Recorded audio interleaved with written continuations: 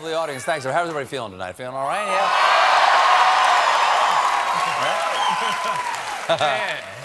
Welcome to the Show. I'm Stephen Colbert. I hope everybody uh, watching down in Florida, Georgia, and the Carolina coast is staying safe right now. Matthew looks like a Category 4 by the time it makes landfall, so please hunker down or hunker up or just hunker the hell out of there. but if you do have to evacuate, please remember we are available on CBS All Access. Can take us with you. Speaking of disasters, uh, the vice presidential debate was last night, and uh, we're still we're still sorting through the fallout of last night's pres- vice presidential debate.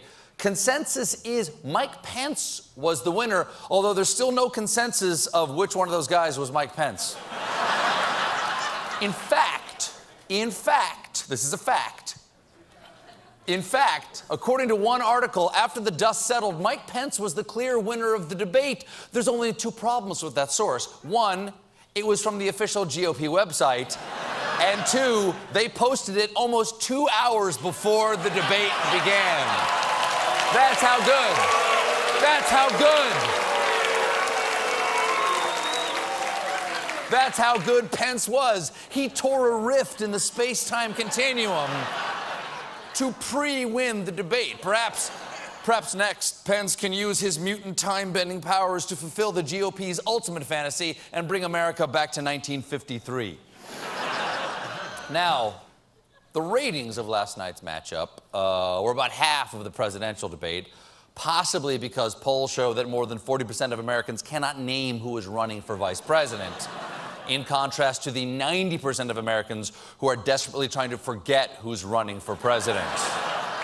But everyone, everyone, big, big applause. As far out. Huge, huge amnesia fans here tonight.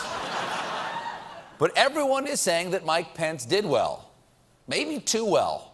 When I asked a senior Trump advisor, the response was immediate. He won, Pence won overall, but he lost with Trump. Mike Pence is getting headlines after the debate saying Donald Trump did badly, but Mike Pence did really well. Maybe he should have been at the top of the ticket. And the, what the advisor said was, you know that Donald Trump does not like to be upstaged. Man, uh-uh, that's got to be tough. I mean, as much as I disagree with Donald Trump, the last thing I want is for the guy to feel like he's being overshadowed. I mean, Trump's very sensitive. I mean, people praising Mike Pence too much might push Trump over the edge.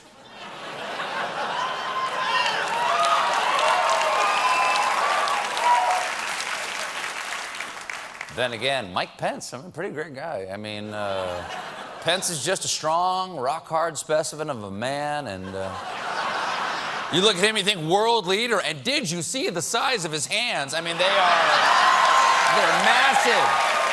They're massive.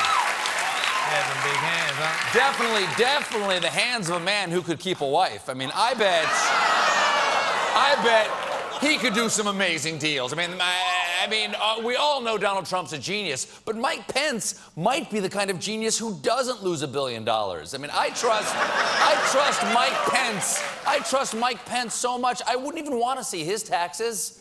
Someone should give Mike Pence a TV show. Does Mike Pence sell any hats? The point is, it was a big, big night for the Pence Trump ticket. I'm sorry, I didn't. I, got that. I, mean, I meant it was a huge night for Donald Pence. I mean, I mean, for the guy who lives in Pence Tower. I mean, I'm sorry, I mean Trump Tower. I don't know why I said Pence Tower, and I really don't know why I had my graphics team make this photo. It looks good. It looks natural, though. Yeah, it it's looks real. I saw it. One of the big themes of last night's debate was the focus on Donald Trump's other running mate, uh, Vladimir Putin. Governor Pence broke with Trump's praise of Putin to issue this warning about the dangers of a resurgent Russia. What we're dealing with is is the you know there's an old proverb that says the Russian bear never dies; it just hibernates. Yes, yes. Of course, he he left off the end of that proverb. It hibernates, then wakes up with a huge boner for Donald Trump.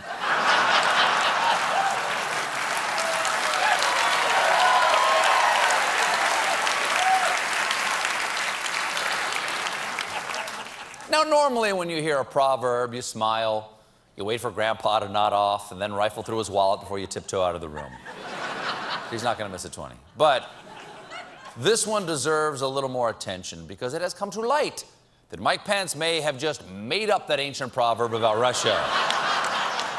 made it up. This could be the biggest Trump campaign scandal since Melania quoted the ancient proverbs of Michelle Obama. now,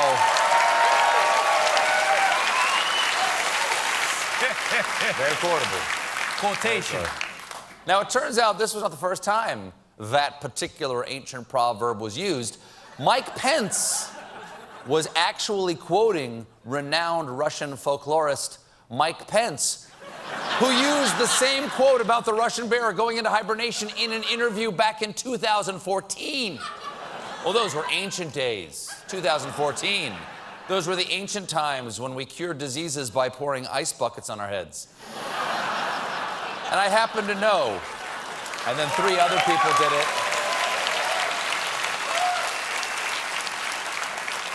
I happen to know that's not the only Russian proverb Mike Pence has made up. I have the rest of it right here in the new book, Mike Pence's Book of Ancient Russian Proverbs. Beautiful, beautiful edition. We have a beautiful limited edition here. And here are uh, some of the proverbs that we, uh, we just taped into the front page right here. Mike Pence's fake Russian proverbs. The wise polar bear pretends to be deaf when asked to defend the orange jackass.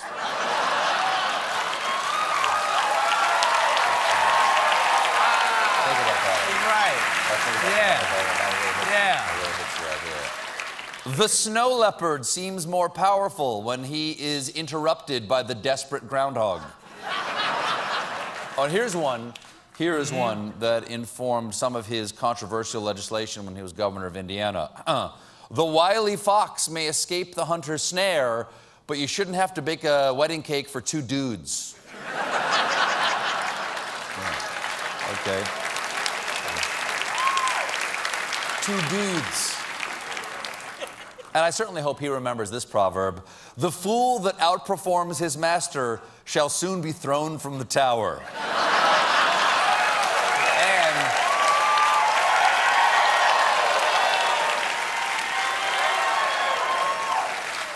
Mike Pence isn't the only Trump surrogate who had a big, big day yesterday. Former New York City mayor and goodwill squanderer Rudy Giuliani went viral thanks to this photo of him smoking a cigar with four men in a car, and judging by the look of them, one man in the trunk. a lot of it. Keep it down. Keep it down. A lot of people speculating about who was in the back seat. Many are guessing it was disgraced former Fox News CEO Roger Ailes. Hard to tell from this photo. It could have been any slowly melting sexual predator.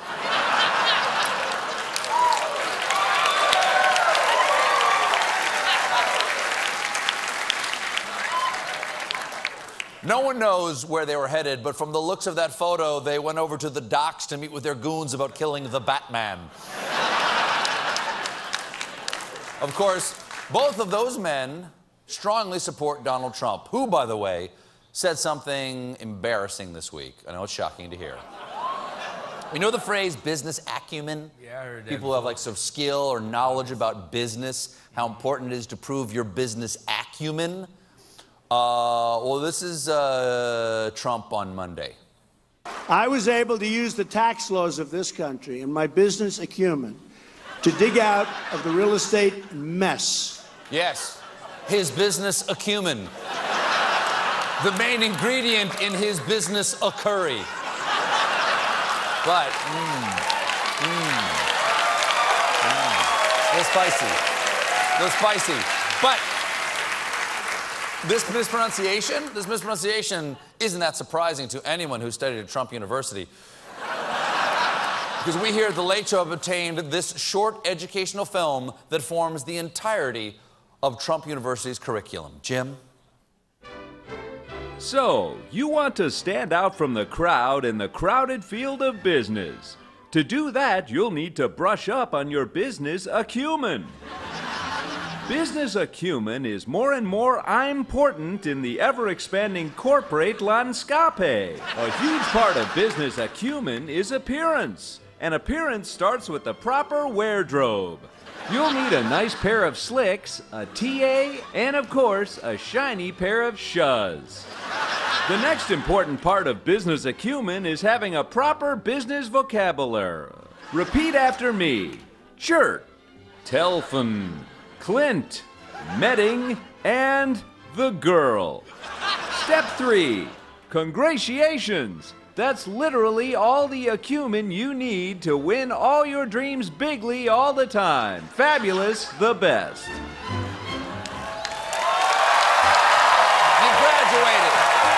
You graduated. We've got a great show for you tonight. Armie Hammer is here.